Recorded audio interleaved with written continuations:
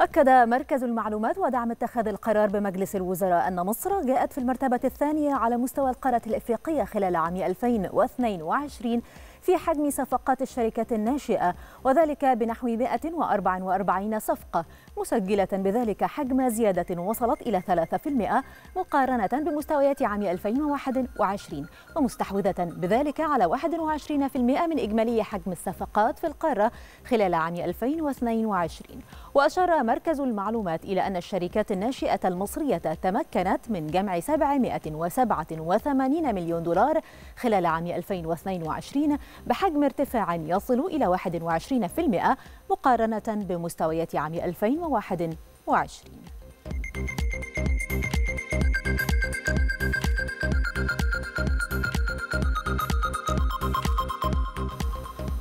نظم مركز المعلومات ودعم اتخاذ القرار بمجلس الوزراء جلسة نقاشية حول تحديات تحقيق أمن الطاقة في مصر وذلك في إطار تكليفات رئيس مجلس الوزراء بأهمية الإعداد لمشروع بحثي متكامل لصياغة السيناريوهات اللازمة للتعامل مع الوضع الاقتصادي العالمي بمشاركة 20 خبيرا من الجهات المعنية وعدد من الشركات الممثلة للقطاع الخاص. وأشار رئيس مركز المعلومات إلى أن العالم يشهد أزمة أمن طاقة حقيقية تتخطى أزمة الغاز الطبيعي في أوروبا مع وجود آثار من المتوقع أن تمتد لسنوات قادمة. وتوقع رئيس مركز المعلومات أن تبلغ الاستثمارات الخضراء لأول مرة نحو 1.3 تريليون دولار بما يقارب الاستثمارات في إنتاج الوقود الأحفوري.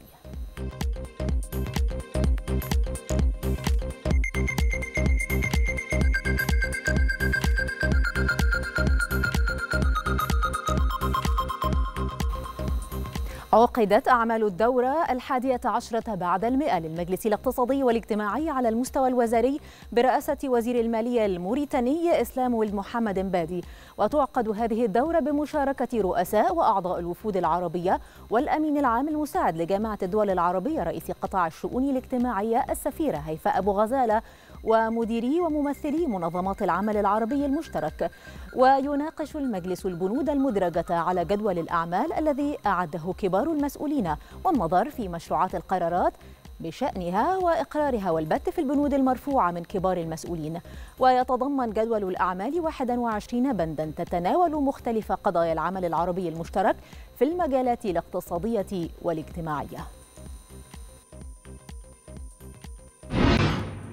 اليوم حصلنا على قرار بالإجماع بالجامعة العربية من الإخوة الوزراء للطلب من شركاتهم الخاصة والقطاع الخاص العربي بالإضافة إلى الصناديق العربية الداعمة والحكومات لدعم هذا المؤتمر للاستثمار في القدس وإيجاد فرص عمل وعمل شراكات مشتركة فلسطينية عربية لدعم القدس والحفاظ على عروبة القدس ومنع تهويد القدس. اليوم كان لي الشرف أن سلمت الرئاسة رئاسة المجلس الاقتصادي والاجتماعي إلى الشقيقة الجمهورية الإسلامية الموريتانية. هي كانت مناسبة حقيقة استعرضنا فيها ما أنجزناه خلال الفترة الماضية وخاصة بعد الاتفاقيات التي تم تمت إجازتها من طرف المجلس والمتعلقة بالأمن الغذائي وبالضمان الاجتماعي وبمسار الاتحاد الجمركي العربي وبمسار كذلك منطقة التجارة العربية الحرة الكبرى. أنهت البورصة المصرية التعاملات على ارتفاع جماعي للمؤشرات مدفوعة بمشتريات المستثمرين العرب والمصريين وسط تداولات مرتفعة. وربح رأس المال السوقي للبورصة نحو 28 مليار جنيه ليغلق عند مستوى 1.98 من الألف تريليون جنيه.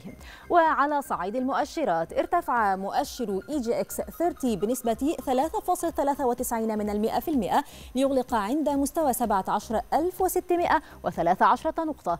كما ارتفع مؤشر الشركات الصغيرة والمتوسطة EGX 70 بنسبة 1.71 من المئة في المئة ليغلق عند مستوى 2879 نقطة.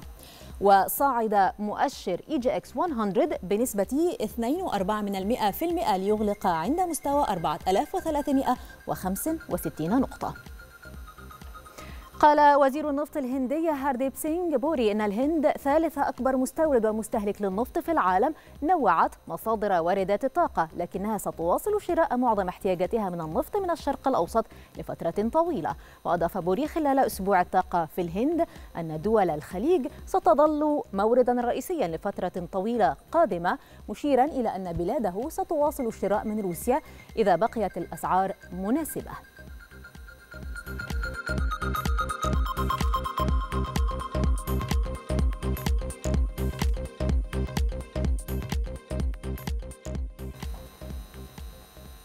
ختام جولتنا الاقتصادية عودة مرة أخرى لمصطفى ميزار وأميرة العقدة إليكم من جديد. شكرا لك.